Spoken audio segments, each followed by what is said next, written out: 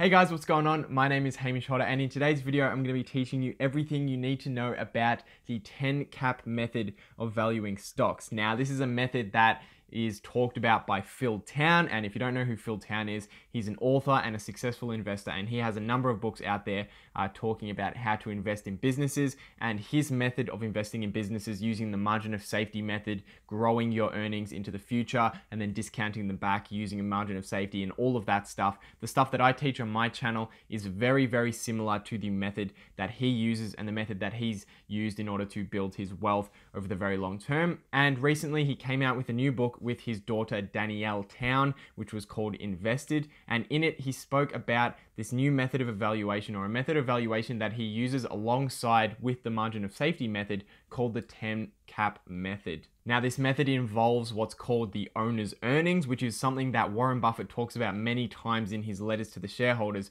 And it's a valuation method that he uses in order to pick stocks to invest in. So, today I'm going to teach you all about that. Now, I was going to make an analysis video today. Uh, however, I did a bit of research for a couple of hours and I really couldn't find anything that stood out to me that would make a really, really great business. So, I thought I would just leave it and I'll teach you about this for this week and I'll get back into the analysis videos next week. Now, if you have any uh, stocks that you want me to analyze, make sure you leave them down in the comments section of this video and I'll be sure to check them all out and see if I can make a video on any of them uh, that's that's long and interesting and uh, something that we can have a dis- discussion about and see if there's any good stocks out there at the current stock price.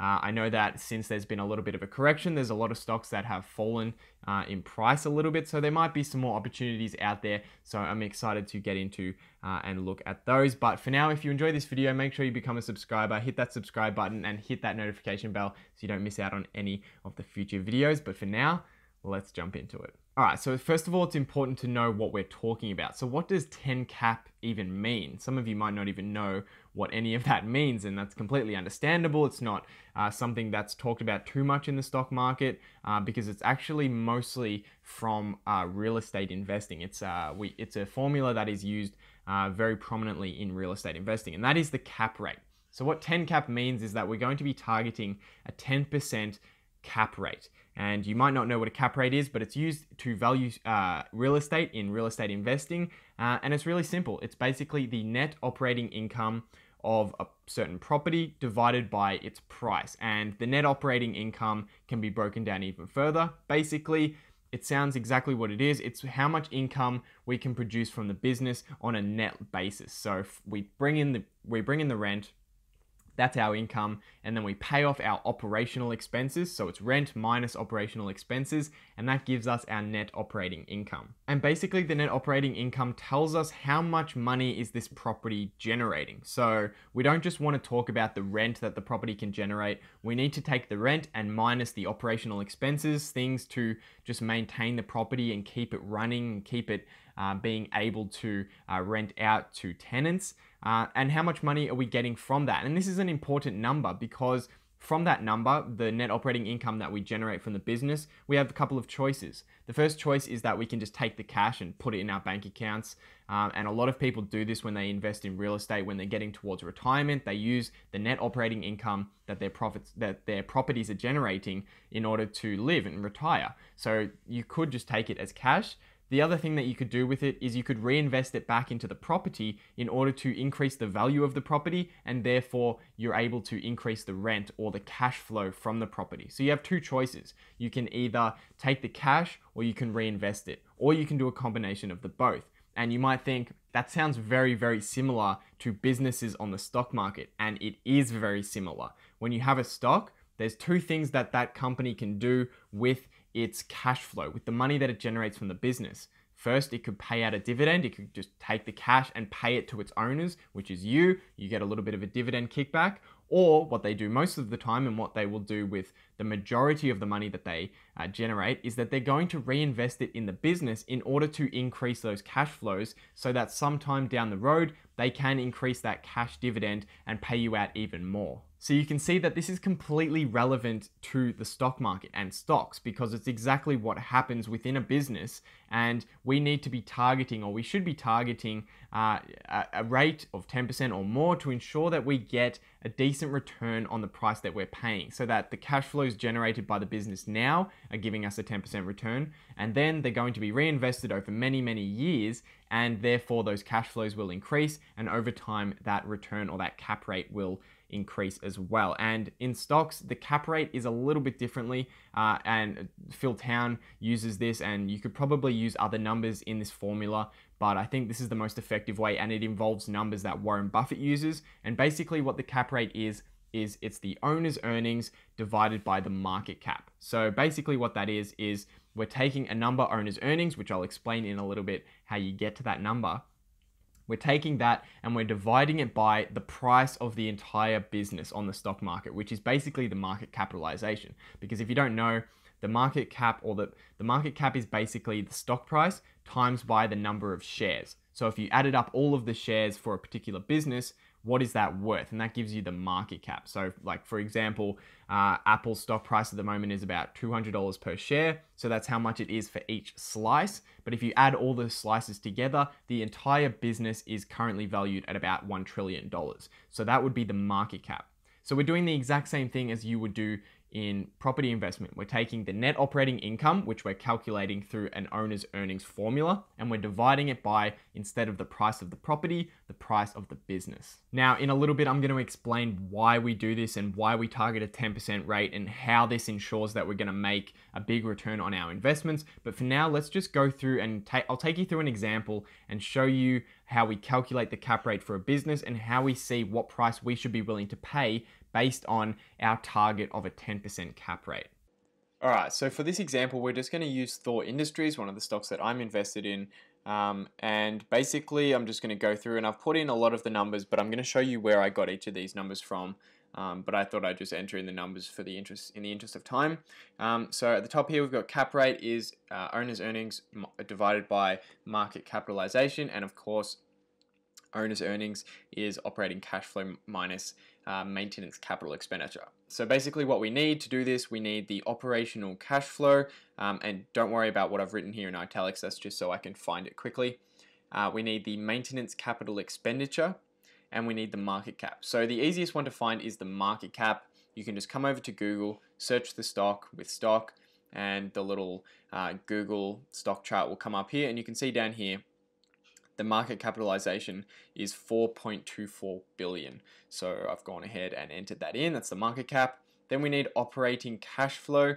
Now you can get this from websites uh, like QuickFS or Yahoo Finance, but I'm going to show you how to find it in the financial statements so that if it's not out on a website, if the data is not out there, uh, you can find it anyway. So basically what I did was I went over to the Thor Industries website to their IR section, the investor relations, and I've gone and downloaded their latest annual report, which is right here. And it's a massive report, 80 pages long. So what we're going to do in the interest of time, we'll speed it up. Basically what you want to do is you want to search cash flow and um, you'll just scroll through. It's on 17 of 30. So for Thor, it's on the 17th.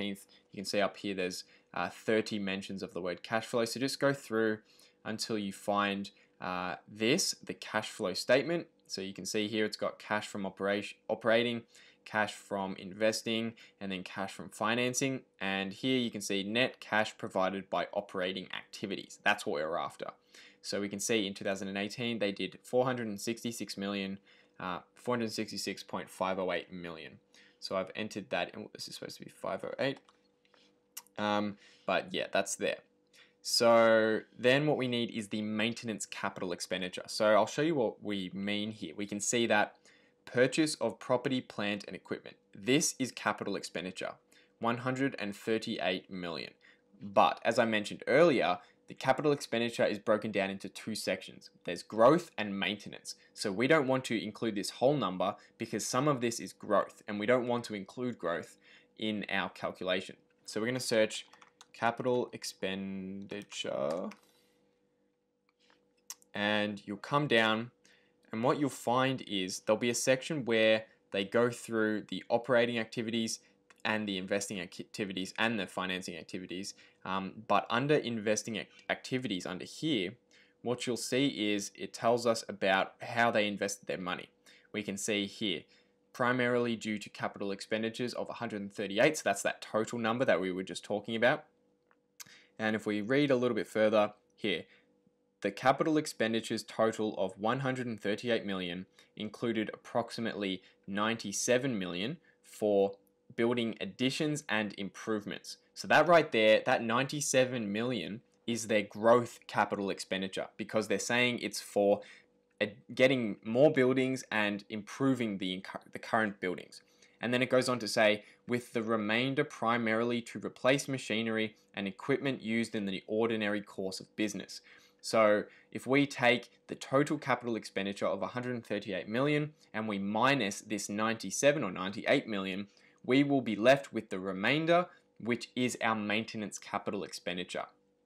So basically I've written that in here. Maintenance capital expenditure is the total capital expenditure of 138 million minus the 98 million, which was for improvements and building additions. So then that leaves us with 40.297 million, which is our maintenance capital expenditure. So then to calculate the owner's earnings, it's very simple. We just take that operating cash flow and we minus the maintenance capital expenditure, and that leaves us with our owner's earnings of $426.209 million. And then, of course, cap rate is just owner's earnings divided by the market cap. So we've got 426 million uh, divided by 4,240 million, which is the same as 4.2 billion. And if we get our calculator out, we can calculate this. So we can go 4.26.209 divided by 42 40. And as you can see, and we can times that by 100 to get it in percentage, 10.05. So that's our cap rate for Thor Industries at the current time. Uh, it's 10.05, which is right around that 10 cap area. Alright, so now that you know how to use the 10 cap method, you might be wondering why we target a 10% return. Why don't we target a 15% return? Or why don't we target something else and how does that ensure that we're going to make money over the long term? The idea is that if we're investing in a really great company, one with a wide moat, a great management team that's investing really well and managing their debt really well, and a business that we completely understand uh, fully, we know how it operates, and we understand what kind of growth prospects this business has, then if we get it at a 10% return, that is the minimum return we will get. And this kind of makes sense because if they decided to pay the entire owner's earnings or the entire cash that they had left over after their operations out to us as shareholders, then we would make a 10% return every single year because they'd just be paying out that owner's earnings. So that 10% is the minimum that we're going to get because if the business just paid it all out to us, that's the return we would get. We pay $1 billion for the stock and they just pay us out $100 million uh, every single year in dividends overall as a company, obviously you'll have a smaller piece of the company, but that's the overall picture, then you're going to get a 10% return every single year. But of course, most businesses won't do that because they want to grow, and the rate that they will be able to grow at is their ROIC, their internal return on invested capital. And those internal investments will grow their cash flows over time, which means that the return that you get as a shareholder grows over time. And of course, as the cash flows of the business increase because the company is basically valued at the discounted cash flows, the, the total of their cash flows over a certain period of time, the value of the business will also increase. So the stock price will go up and the, the dividends that they're going to be able to pay out to you, whether or not they do it early on, they might not, but the ability of the company to pay out that dividend, that number will increase over time. And that basically means that maybe the company doesn't pay out a dividend for the next 10 years, but they, they reinvest all of that money and they grow their cash flows and then they decide to pay out a big dividend. Either way, you're going to get the return that they're getting internally in the business on your stock. So basically, you're either going to get it as a dividend or the stock price will appreciate as the value of the company expands and you'll uh, be able to sell your stock for a higher price. Now, I personally use this method alongside the margin of safety method to ensure that I'm not doing anything too wrong. So I want to make sure that it's a buy under the margin of safety method and it's also a buy under the 10 cap method to ensure that I'm getting a 10% return on cash flows. And the reason that I do that is because sometimes in the margin of safety method, you can estimate really high growth and therefore it looks as though it's a buy using the margin of safety method, but you're actually not getting anywhere near a 10% rate on the stock right now. So it, the the 10 cap uh, method is really a value investing method. It has nothing to do with growth because you don't estimate growth into the future. You just look at how the company has been investing in the past and you are confident in the management team to continue to invest at that rate, but you don't try and estimate what rate that's going to be. You just buy it at a very, very low price, a low price relative to their cash flows, and therefore uh, you hope that the management team will be able to uh, increase those cash flows over time and pay them out to you either in terms of a dividend or in the stock price. But I hope you guys enjoyed this video today. Let me know if you did and let me know your thoughts on the 10 cap method. Will you be using the 10 cap method? Do you think it's one that you should be using uh, or do you think the margin of safety method is better or I'd, I'd just love to hear your thoughts on the method um, subscribe if you enjoyed this video and you want to see more next video will be out on thursday and then on saturday and i actually spoke about owner's earnings in depth uh, in one of the podcasts that me and Brandon from the Aussie Wealth Creation YouTube channel did a couple of weeks ago, I think. So if you go onto the Aussie Wealth Creation YouTube channel uh, and go to the podcast, it's the Young Investors podcast. Uh, there's one that's all about this method, and we speak about it for about half an hour. So, if you want to hear a bit of a, a further discussion on this, I suggest you go check that out. But for now, I hope you guys have a great day, and I'll see you in the next one.